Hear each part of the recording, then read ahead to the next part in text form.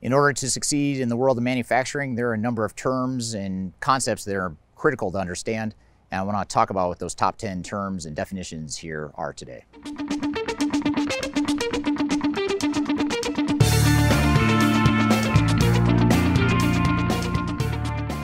My name is Eric Kimberling. I'm the CEO of Third Stage Consulting. We're an independent consulting firm that helps clients through their digital transformation journeys. And as I mentioned, manufacturing has a lot of unique terms and definitions that are critical to understand in order to be successful in the world of manufacturing. It's an industry that I happen to love. It's where I started my consulting career was in the manufacturing space, so it's a space I enjoy working in. But I also understand there's a lot of complex topics that may or may not make a lot of sense if you're new to the industry or if you're just trying to brush up on what some of those key concepts are. So what I want to talk about today are those top 10 definitions that are most important for you to understand in your career in manufacturing. One of the first things to understand is the type of manufacturing that you're doing or that your organization does. And there's two primary types of manufacturing. You have discrete manufacturing and you have process manufacturing. Discrete manufacturing is probably the more common or the more traditional type of manufacturing. It's the production of widgets or tangible things that are units of one or actual objects. When you talk about process manufacturing, on the other hand, that's related more to things like food and beverage. So there are things that involve a recipe or mixing materials to create something that can't be reversed. And that's probably the best way to think about it is, is process manufacturing you can't undo. Whereas discrete manufacturing, you could technically take apart all the different pieces and components of that discrete product.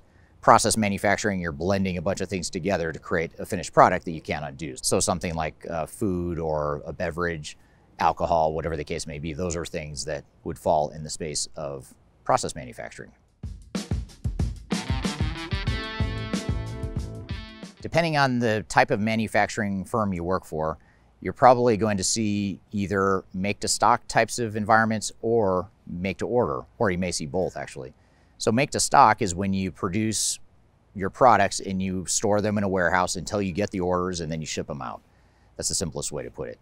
Make to order would be you don't build anything until you get the order from the customers, or at least you have projected demand from a customer that you're building for. So make to order would be to build something that's either for an existing customer order or it could be that you're also producing it for anticipated demand that you think you'll ship very quickly. Whereas make to stock is you're going to let it sit on a shelf until the orders come in and you'll let it let it ship whenever it comes in. Now, make to order is more common with larger, more complex products. So when you have a highly engineered or highly configurable type of product, that's more likely to be make to order. In some cases, there's another step within make to order or another version or variation, which is actually engineer to order, which is sort of a subset of make to order. And that is because it involves more complex engineering, but the general concept is the same. Whereas make to stock is going to be things that are more high volume commodity types of things that you may not have clear demand or it's not very predictable as far as what the demand is. Or it may be that you have to stockpile inventory just to make sure you're satisfying your customers. So in those cases, that might be more of a make to stock environment. Material resource planning is one of the most critical components and really the heart of manufacturing. In fact, this is the area that I actually first learned within manufacturing was the whole concept of MRP. And MRP is essentially the way that you translate anticipated demand or anticipated needs for production. You're translating that into an actual production schedule. So you're trying to figure out what do I think I need to produce? When do I have to produce it by? And then how does that translate into my production schedule? And it's not just scheduling the production on the shop floor within the manufacturing plant, it's also anticipating when you might need to order raw materials to support that production. So it's a very complex process. It requires a lot of data, a lot of assumptions, a lot of projections, and a lot of systems and human intervention to make sure that you've got the right MRP process to ensure that you're building the right product at the right time for the right customers. So MRP is something that's critical to understand, and it's a critical part of any sort of technology that might automate your manufacturing operations. Building block of any product that your organization might manufacture is going to be your bill of material. And the bill of material is a sort of master data that resides within a system that defines exactly how the product is made. So at the top level, you have your finished product. And then underneath that, you have a hierarchy of different components and raw materials that go into that finished product. And the reason this is so important is that's the diagram or the blueprint for how you're going to build the product. And it also defines how you're going to order raw materials and how you're going to route the manufacturing on the shop floor. And so it really defines how the manufacturing processes and the materials are all going to come together to create the finished product. It will also capture costing information too. So it'll capture the estimated or the actual cost of all the different components and materials and even the labor that goes into building that final product. And that's important too because that ultimately should trickle back to your finance and your accounting so that you can track your work in progress, you can track your profitability, you can track your overall cost, all that good stuff. So the bill of material is a critical part of any manufacturing process. Bill of materials go hand in hand with something called routing.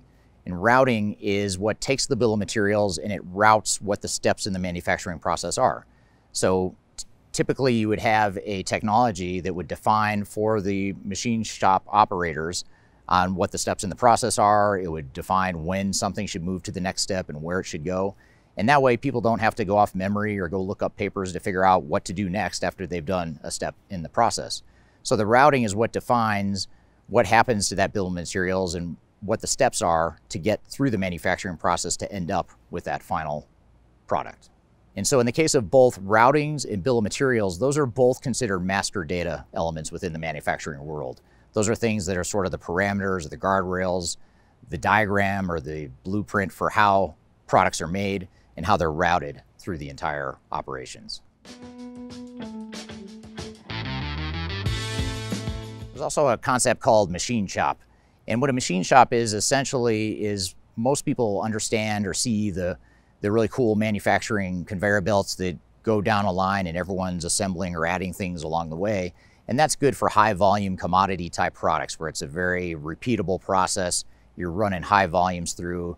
A good example would be like a food manufacturer that produces candy bars. You know, Hershey's, you're gonna see an assembly line that kind of goes down the line and it's gonna crank massive amounts of product down that assembly line. But when you have lower volume environments or more custom environments, you, you tend to have more of a machine shop environment where you have one self-contained machine shop area where you're doing a number of steps to configure or tailor a product for specific customer needs.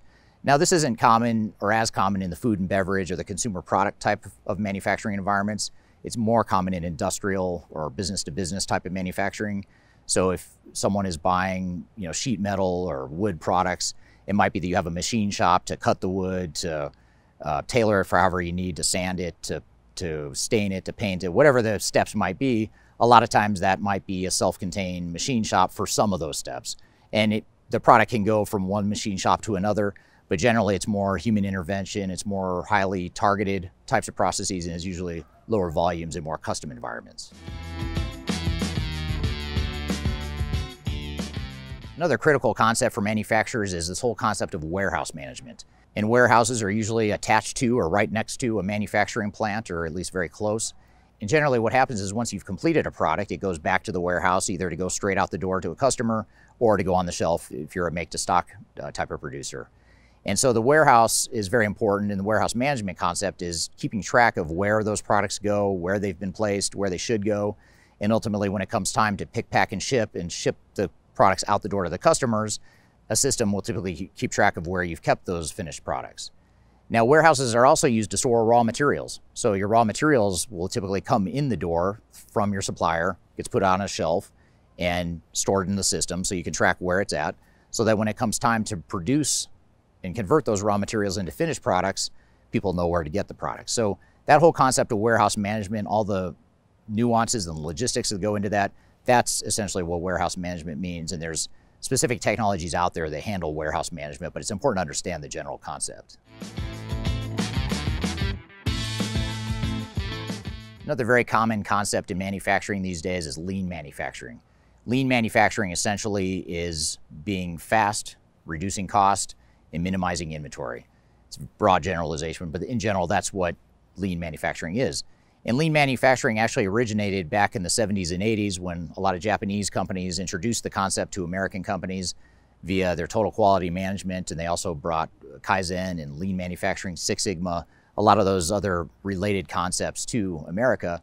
And lean manufacturing is sort of a general umbrella of concept that focuses on reducing costs, reducing inventory, reducing waste, and ultimately streamlining the overall manufacturing process.